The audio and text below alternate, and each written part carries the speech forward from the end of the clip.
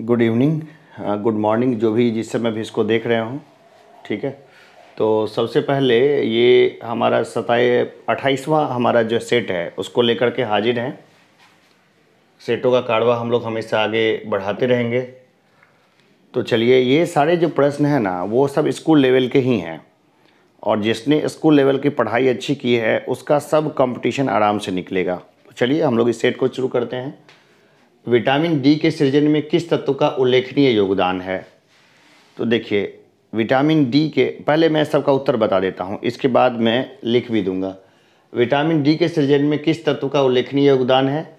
तो वह है कैल्सी फेरॉल का। दूसरा देखते हैं, मंत्रिमंडल में कैसे मंत्री होते हैं? तो मंत्रिमंडल में जो मंत्री होते हैं, वो सिर्फ़ कैबिनेट मंत्री होते हैं। कैबिनेट रैंक, राज्य मंत्री उप मंत्री वगैरह उसमें शामिल नहीं होते। लेकिन देखिए, उप प्रधानमंत्री का जो पोस्ट है ना, उप प्रधानमंत्री का पोस्ट, उसमें जैसे सरदार वल्लभ भाई पटेल थे, ये सब कैबिनेट मंत्री के हिस्से हुआ करते थे। आगे हम लोग देखें कि चोल वंश के किस राजा ने सर्वप्रथम भू सर्वेक्षण कराया। तो ये कराया था राजराज प्रथम ने, क्योंकि उस समय जो टाइम था, वो भूमि कर ही, मुख्य कर का हिस्सा हुआ करता था। किसने? 1932 में अखिल भारतीय हरिजन संघ की स्थापना की थी। तो ये की थी महात्मा गांधी ने। आगे हम लोग देखें, केंद्रीय मृदा तथा पदार्थ अनुसंधान केंद्र कहाँ स्थित है? ये स्थित है नई दिल्ली में। दक्षिणी आल्प्स पर्वतमाला किस देश में स्थित है? ये स्थित है न्यूजीलैंड में। बेलूर मठ की स्थापना विवेकानंद ने किस वर्ष की? तो ये की थी उन्होंने अठारह सौ छियासी ईस्वी में।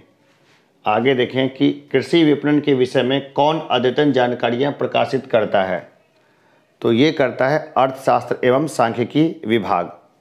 नाइन्थ नंबर क्वेश्चन देखें। सीरिया के राजा एंटियोकस से किसने मदिरा सूखे ठीक है सूखे अंजीर एवं एक दार्शनिक मांगा था? तो ये जो है ना ये मांगा था बिंदुसार ने जिसमें क्या है ना कि आ, मीठी मदिरा मीठी मदिरा और सूखे अंजीर तो दे दिया था, लेकिन उन्होंने बोला था कि वहाँ के कानून के अकॉर्डिंग दार्शनिक को नहीं भेजा जा सकता, इसलिए दार्शनिक नहीं दिया था उन्होंने। अगला देखिए राष्ट्रीय सुरक्षा दिवस कब मनाया जाता है? तो राष्ट्रीय सुरक्षा दिवस जो है, वो मनाया जाता है चार मार्च को। तो चलिए लिख देते हैं इसको। एक बार देख लीजिए, चाहे तो स्क्रीन ले लीजिए इसका।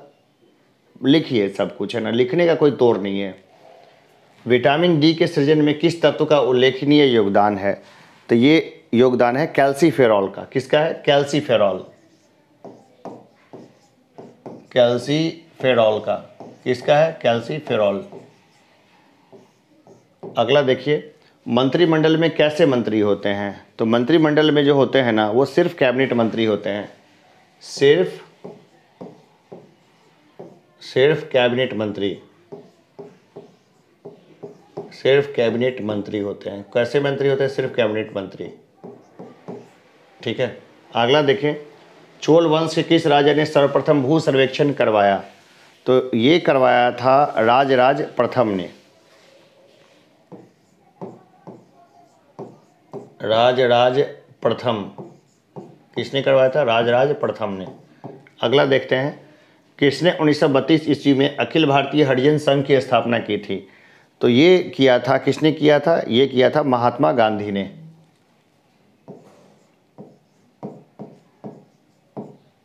किसने किया था? ये कहा, किया था महात्मा गांधी ने। आगे देखिए, केंद्रीय मृदा तथा पदार्थ अनुसंधान केंद्र कहाँ स्थित है? ये स्थित है नई दिल्ली में। कहाँ स्थित है? नई दिल्ली में।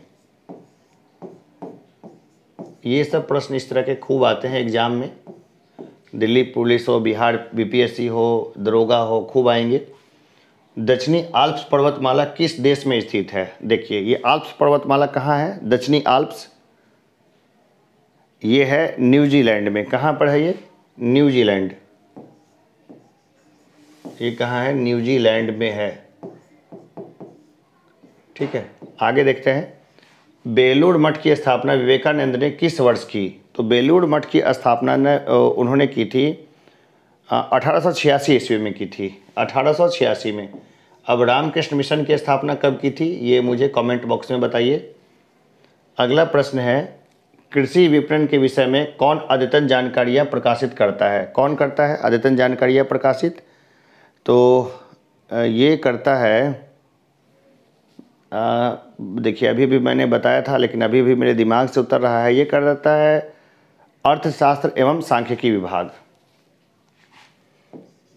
अर्थशास्त्र अर्थशास्त्र एवं सांख्यिकी विभाग। सांख्यिकी विभाग। कौन करता है? अर्थशास्त्र एवं सांख्यिकी विभाग। ठीक है, अगला प्रश्न देखिए। सीरिया के राजा एंटियोकस से किसने मदिरा सूखे अंजीर एवं एक दार्शनिक मांगा था? ये मीठी मदिरा सूखे अंजीर है, ठीक है? तो ये मांगा था बिंदुसार ने। किसने मांगा था? बिंदुसार भाई, दो चीज़ की आपूर्ति की थी, लेकिन दार्शनिक की आपूर्ति नहीं की थी उसने। राष्ट्रीय सुरक्षा दिवस कब मनाया जाता है? तो राष्ट्रीय सुरक्षा दिवस है, वो मनाया जाता है चार मार्च को। ठीक, कब मनाया जाता है? राष्ट्रीय सुरक्षा दिवस, चार मार्च को मनाया जाता है, ठीक है?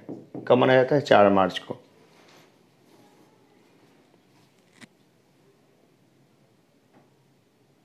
चाहे तो इसको लिख लीजिए। चलिए तो चाहे तो इसको स्क्रीनशॉट ले लीजिए, लिखना ज़्यादा बेहतर है। तो मैं अगले सेक्शन में हम लोग बात करेंगे। धातु के प्याले में चाय पीना कठिन है, जबकि चीनी मिट्टी के प्याले में चाय पीना आसान है। क्यों? तो देखिए, इसमें क्या होता है कि धातु उष्मा का सुचालक है। तो उष्मा आराम से ट्रांसफ़र हो जाती है तो स्टील के कप में अगर कोई लोग चाय पिएँगे तो उनको मुँह पकने का ज़्यादा डर रहेगा। उष्मा फैल जाती है ना, उसमें सुचालक है। लेकिन क्या है ना, चीनी मिट्टी जो होता है ना, चीनी मिट्टी का जो होता है, वो उतना ज़्यादा सुचालक नहीं होता है। देखिए, मंत्रिपरिषद की बैठक की अध्यक्षता कौन करता है? तो ये करता है प्रधानमंत्री। कार्बोडेंडम के निर्माण में किसका प्रयोग किया जाता है? तो ये प्रयोग किया जाता है सिलिका का, सिलिकन यानी एसआई का। बिंदुसार किस संप्रदाय का अनुयायी था? तो बिंदुसार जो था ना, वो आजीवक संप्रदाय का अनुयायी था। अंतर्राष्ट्रीय महिला दिवस कब मनाया जाता है? ये मनाया जाता है आठ मार्च को। अगला देखिए। लाहौत से पर्वत श्रेणी किस देश में है? लाहौल से पर्वत श्रेणी जो है ना ये है नेपाल में। ये सब आए हुए भी प्रश्न हैं रिपीटेड प्रश्न हैं। अगला देखिए, विमान चालक के बैठने की जगह को क्या कहा जाता है? विमान चालक कॉकपिट में बैठता है। विश्व में चीनी का सबसे बड़ा उपभोक्ता देश कौन सा है? अब बताइए तो सिंपल है, भारत है। भारत सबसे ज़्यादा चीनी का यूज़ करते हैं। चीनी एक नुकसानदायक चीज़ है। चीनी का यूज़ कम से कम करना चाहिए, चीनी और नमक का भी। बिंदुसार की मृत्यु के समय अशोक कहाँ का उपराजा था? तो बिंदुसार का जिस समय डेथ हुआ वो उज्जैन का उपराजा था। उज्जैन में भी उसने एक व्यापारी की बच्ची से शादी की थी, लड़की से। विश्व काला मोतियाबिंद दिवस कब मनाया जाता है? तो ये मनाया जाता है तेरह मार्च को। ठीक है? अब इसको लिख देते हैं। लिखें? शुरू करते हैं लिखना। तो पहला देखते हैं कि धातु के प्याले में चाय पीना कठिन है, जबकि मिट्टी के प्याले में चाय पीना आसान है। क्यों? क्योंकि धातु उष्मा का सुचालक है। धातु उष्मा का सुचालक है। उष्मा का सुचालक है। उष्मा का सुचालक है। ठीक है? आगे देखिए। मंत्रिपरिषद की बैठक की अध्यक्षता कौन करता है? मंत्रिपरिषद के बैठक की अध्यक्षता कौन करता है? तो ये करता है प्रधानमंत्री। कौन करता है? प्रधानमंत्री। ठीक है? अगला प्रश्न देखिए। कार्बोडेंडम के निर्माण में किसका प्रयोग किया जाता है? कार्बोडेंडम के निर्माण में तो ये प्रयोग किया जाता है सिलिकन एसआई का। सिलिकॉन सिलिकॉन यानी एस आई का इस्तेमाल होता है। ठीक है? बिंदुसार किस संप्रदाय का अनुयायी था? तो बिंदुसार जो था ना, वो आजीवक संप्रदाय का था। अब ये संप्रदाय दिखता नहीं है। कोई आजीवक मिलता है क्या? आजीवक संप्रदाय। किस धर्म से संबंधित है? ठीक है? किस धर्म से संबंधित है, ये बताइए। कमेंट बॉक्स में बताइएगा आराम से। ठीक है? आजीवक संप्रदाय का था। आगे देखें। अंतर्राष्ट्रीय महिला दिवस कब मनाया जाता है? ये मनाया जाता है आठ मार्च को। आठ मार्च को ये मनाया जाता है। लाहौत्सव पर्वत श्रेणी किस देश में है? तो यह है नेपाल में। यह है नेपाल में। आगे देखिए, विमान चालक के बैठने की जगह को क्या कहा जाता है? ये कहा जाता है कॉकपिट क्या कहा जाता है? कॉकपिट ये कहा जाता है कॉकपिट ठीक है, आगे देखिए कि विश्व में चीनी का सबसे बड़ा उपभोक्ता देश कौन सा है? तो ये भारत है। ठीक है, ये दुखद है कि भारत इतनी चीनी का इस्तेमाल करता है, जो सेहत के लिए नुकसानदायक है। बिंदुसार की मृत्यु के समय अशोक कहाँ का उपराजा था? तो ये था कहाँ का उपराजा था? अभी अभी बताया है मैंने, उज्जैन का उपराजा था। कहाँ का था? उज्जैन का। उज्जैन का। ठीक है। आगे देखिए। विश्व काला मोतियाबंद दिवस कब मनाया जाता है? ये एकदम डेट याद रखिएगा, तेरह मार्च को। ठीक है, कब मनाया जाता है? तेरह मार्च को। बीस क्वेश्चन का सेट है, मैंने जल्दी जल्दी डिस्कस कर दिया। चाहे तो इसको रोक के लिख लीजिए, चाहे तो इसको हटा दीजिए। जो करना है, सो इसको करिए आराम से। कोई इसमें समस्या की बात नहीं है। उम्मीद है सब लोगों ने लिख लिया होगा। हटाएँ इसको।